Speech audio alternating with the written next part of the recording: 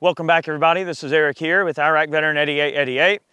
We've got an awesome rifle we're going to be showing you guys today and this is actually not the first time I've had one of these on the channel. Uh, Ray and I uh, at OSS did a video on the DRD Paratus a long time ago. It was sort of a bench top. Well, we finally have one uh, here in the flesh to take out and uh, shoot out to range for you. We're gonna be shooting out to 650 yards. And the Paratus is a really awesome offering from DRD. Uh, this particular gun uh, sort of represents their flagship model. This is the gun that put them on the map, the one that got them started, the one that most people are familiar with the company DRD because of this gun. Uh, Special Operations requested a, an entry, okay, for their clandestine uh, sniper rifle project. And basically they wanted a gun yep. that could pack down really compact, like into a suitcase or something small, and then be able to be deployed into an area discreetly, uh, get in, get, get in real quiet, unpack the rifle, and then you've got basically a sniper rifle that can pack down into a, a, small compact case. And that is how this particular gun was born. It took them a little over two years to develop this gun, and this does represent uh, definitely one of their flagship products. This one is chambered in a 7.62. Uh, you can also get these in 6.5 Creedmoor. This one has a 16 inch barrel. Uh, so really cool setup. It is a full takedown, a direct gas impingement gun. This one is equipped with the ever awesome Superlative Arms gas block, uh, which is fully adjustable. Now we are running a HUXWRX suppressor on this particular gun. Full pic rail all the way across the top of the rifle. Uh, this is a side charge unit, so you don't have a uh, T-handle back here for gas to bleed through. Uh, it does have an internal recoil uh, system, which means that you get to mitigate the buffer assembly, which means you can actually fire this rifle folded if you wish. So you do have the folding Magpul stock uh, Magpul grip on this particular gun. That allows the gun to be put into a bit more compact configuration for traveling in a vehicle once it's together. Uh, this one is equipped uh, with an Atlas bipod on this particular gun. Uh, we definitely love our Atlases here. We've got an ACSS uh, Griffin MIL from Primary Arms. Uh, this particular optic is one of their ruggedized units. Very, very capable. We've shot these on a ton of different guns and they work out great. Uh, Primary Arms makes a great uh, mid to higher level uh, optic. They're, they're just fantastic and uh, they track beautifully. So hopefully we can demonstrate that. Now we are getting atmospherics and getting our dope uh, figured out with a Kestrel 5700 Elite. We do have the weather vane set up, so it's over here collecting data. And we're experimenting with a new uh, device from Kestrel called the HUD. HUD stands for Heads Up Display. It sends the information from the Kestrel over here to my HUD, and I've got basically an electronic dope card that is actively feeding me atmospherics uh, as we go, all right? So as conditions change, it lets me know, and then I, I, I know if I need to play with my windage or whatever. So uh, this feeds from uh, standard SR25 style magazines. Obviously we see it comes with PMags, so we're gonna put a PMag in here and uh, give this gun a try, have a little bit of fun. I'm gonna shoot it 100 out to 650. I think 650 can definitely show the capabilities of what this gun can do. Uh, we are shooting 175 grain Sierra Match Kings. Uh, it's federal gold medal match uh, factory ammunition here today. Uh, and so far, man, it is so awesome. You do have an ambidextrous safety. The safety is a little blocky and squared off. It can be a little bit difficult to get to depending on, you know, uh, the, the, strength of your thumb. Uh, you know, I wish maybe they'd give maybe a little more length and leverage there on that safety, but all in all, not bad. You do have an ambi safety as well as this uh, sort of BAD lever here that allows you to lock the bolt to the rear uh, with your trigger finger. Some people don't like them. Some people aren't a fan of them. I, I do like them uh, just fine. And uh, this is a 20 round PMAG. Let's have a little fun here. I'm gonna start out, we're zeroed at 100. We got our dope card set up. Chad is spotting. And uh, Chad is running a Leupold Mark IV spotter with a tactical milling reticle in it. Spotter up. All right, let's have some fun. I mean, I shouldn't have to spot for you at 100. I hope not. Okay. Center mass? Yeah. Okay.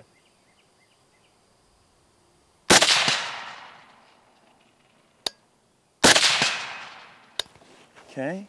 Two. All right, we're zeroed at 200 yards. So we are running a 200 yard zero. Our hanging gong should be dead on the money. All right, I'm gonna check the wind.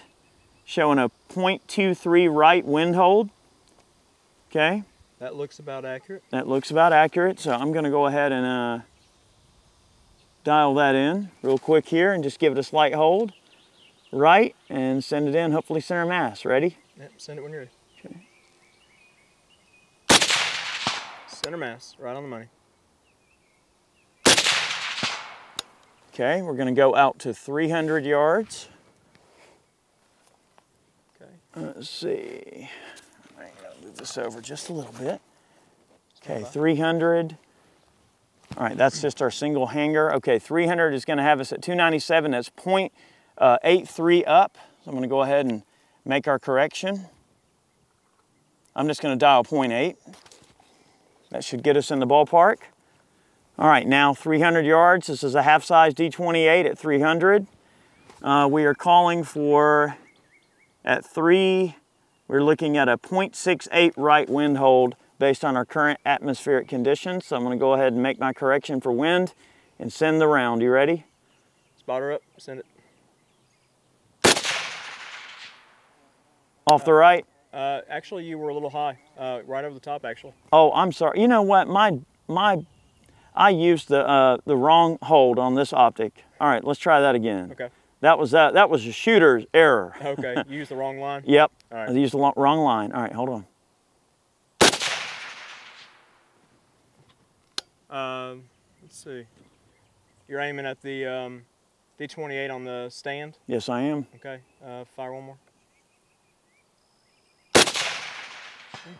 Center mass. Uh, Yeah, the wind didn't bunk it at all. I was hoping for wind based on what the Kestrel was telling me, and it, it wasn't necessary. I guess the wind died down. All right, one more. yeah, that was a little bit left. It did push. Look, I'm gonna try a headshot. I think I can hit it. okay, go ahead. A little bit of wind picking up.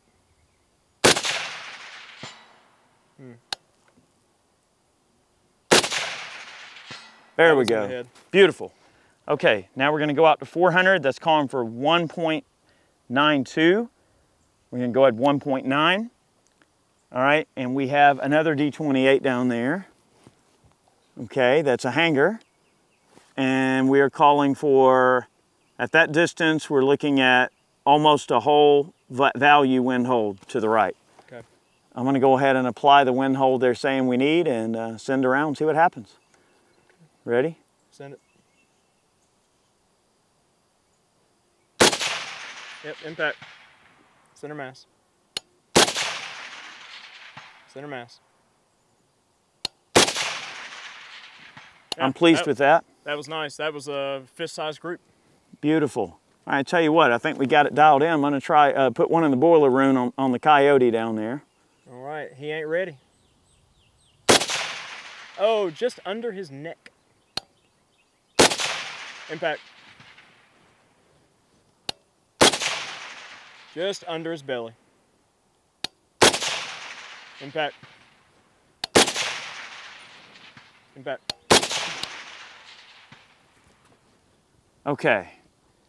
We're gonna go out to, this time we're going out to 550?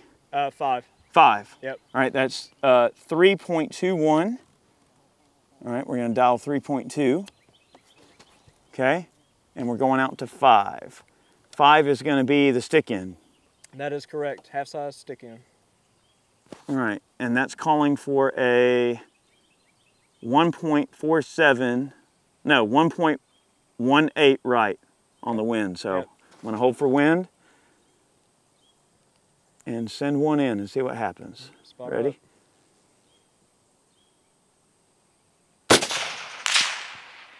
Oh, I shot right where I was looking. Actually, yeah, the wind didn't affect it at all. Sure did. Wow.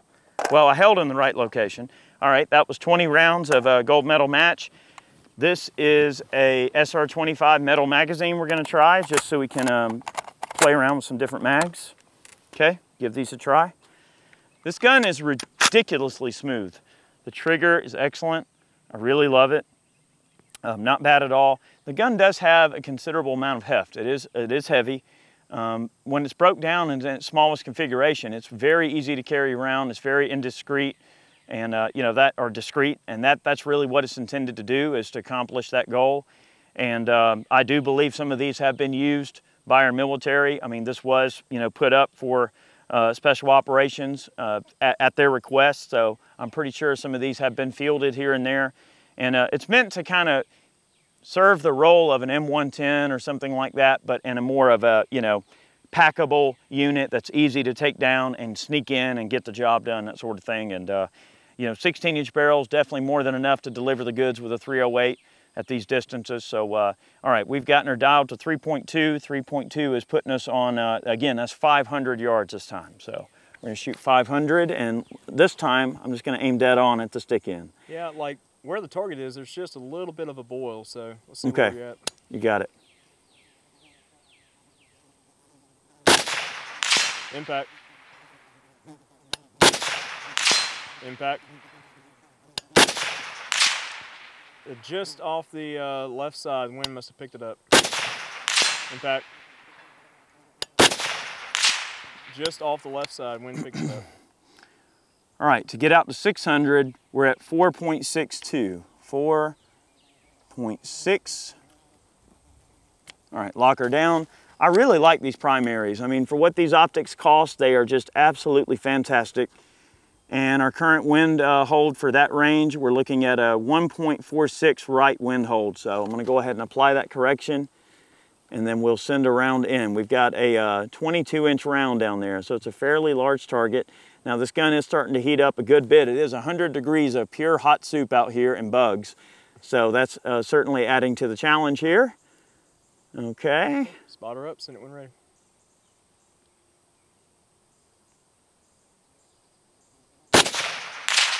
Impact. Impact. Impact. Impact. Good deal.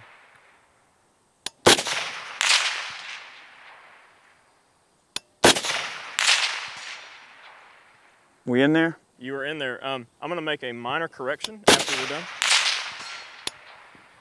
Wow, man, it's pitting the ace at six, baby. Yep. So we have not calibrated this uh, particular load yet in this rifle, and it's it's a little bit low, uh, probably three tenths of a mil.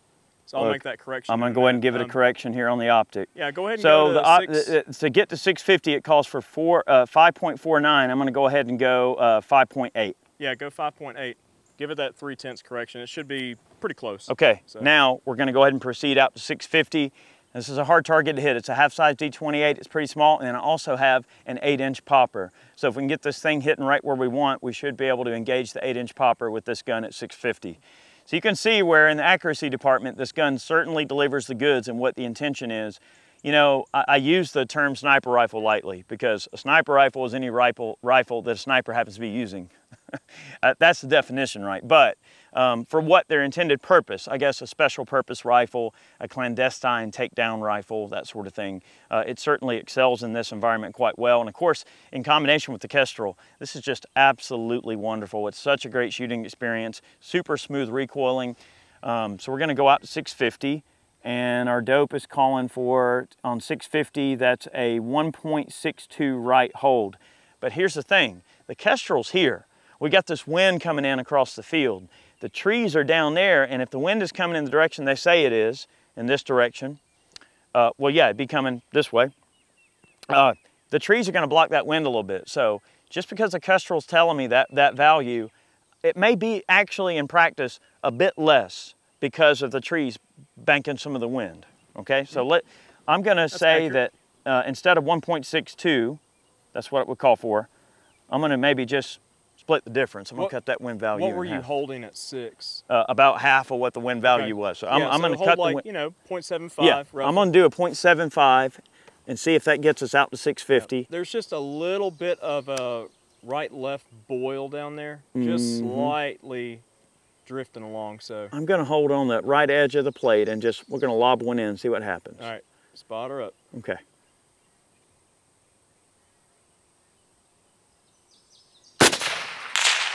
Impact.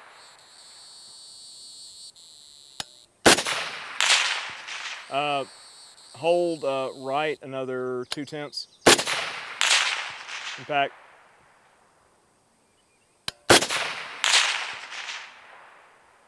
couldn't see it. There's a lot of mirage. Yep.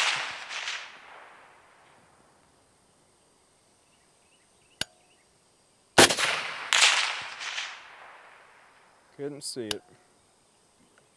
It's a long way and we are getting a good bit of heat mirage off the suppressor. So it's making getting a good sight picture kind of tough. And this optic does not really have a lot of extra of uh, power. So it's a challenging shot to get out to this distance, but at six, I'm looking at that group and that's a pretty hot, hot looking little group there at six. It is. So the gun has definitely got uh, the goods in the accuracy department for sure. I'm liking that. All right, let me just try a few more shots here. All right, you're gonna have to give it um, another half a mil wind. All right, good deal. Yep. I well, we got another magazine to test. So okay. Uh, there was a couple of different brands of SR25 metal mags that we had. One I think was an old uh, Armalite, possibly looks like. That follower is probably an Armalite follower. And this one looks like one of the DPMSs or possibly a Stoner one. So we're gonna give that a try real quick. Uh, okay what's going on here. There we go. I just, Locking in? I just wasn't hitting it hard enough. Huh. Okay, 650. This time we're gonna add two tenths extra wind. Uh, five tenths. Five tenths. Yeah, half a mil. Okay, half a mil. All right, send him one. Ready? Send it.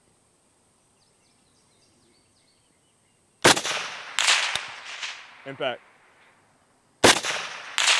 Impact. Impact. Oh yeah.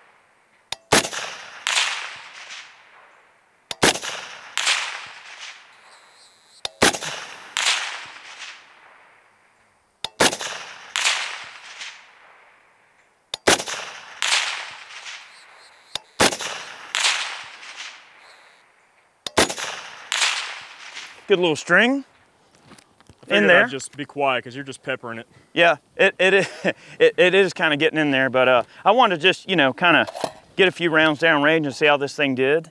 So uh, that worked out well. So the metal mags are great. The uh, SR25 mags are looking good. Uh, 650 yards is a pretty good little stretch for a semi-auto, and especially at that rate of fire. I mean, you know, it's starting to open up a little bit there, but you know, it really does shoot great and it gives the, the operator the capability to have fast follow-up shots, which is what I was really trying to demonstrate. Uh, you know, bolt guns are great. They do have good velocity, good accuracy, definitely good accuracy.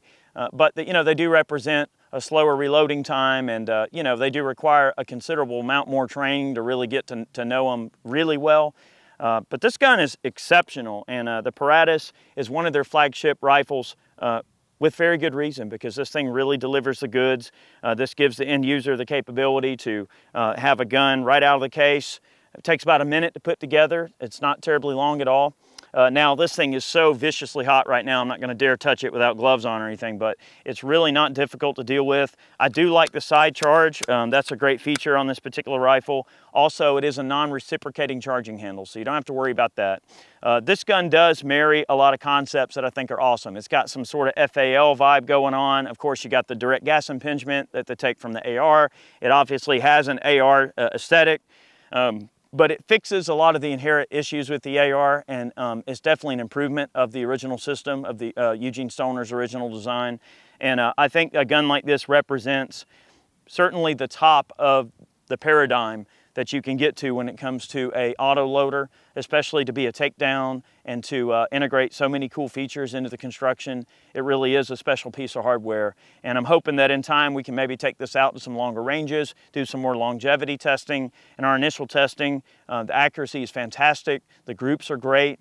Um, it handles a wide variety of different ball ammunition. Uh, we haven't had a problem with any ball we've put through it. It, it eats match ammo just fine. The 175 is, is really my choice of bullet weight to shoot in a 308. I think it's, uh, it's great. They bunk the wind really good. Uh, they do have a little bit more dope required to get out long range. I mean, to get that 650 yard shot, uh, you know, we, we were looking at a 4.62 come up uh, no, I'm sorry, a, a 5.49 come up. So that's, that's a lot more. A 6.5 Creed, for instance, uh, like the bolt gun that we just did a video on, the Bergara, uh, that one, I believe the 6.5 Creed only had about 4.3 mils of come up uh, to get out to 650. So uh, with the flatter shooting 6.5 Creedmoor, uh, I would love to get a barrel in 6.5 Creed out for this particular gun that is one of the awesome features of this being a takedown is that you can simply swap the barrel and nothing else, you don't have to change anything. So if you order uh, one of these rifles, if you order Paratus, uh, you can order the 6.5 barrel as an extra and then just swap the barrel out and readily go between the two cartridges without changing uh, hardly anything at all. You may have to make a slight gas uh, adjustment setting if you're gonna use the same can, but for the most part, um, generally in the ballpark. I would love to test one of these out in 6.5 Creedmoor, so I'm hoping maybe that can be something uh, we wind up doing in the future. Have yourselves a great day. Many more videos on the way. I really appreciate you guys watching. Have a good one. Many more coming. We'll see you soon.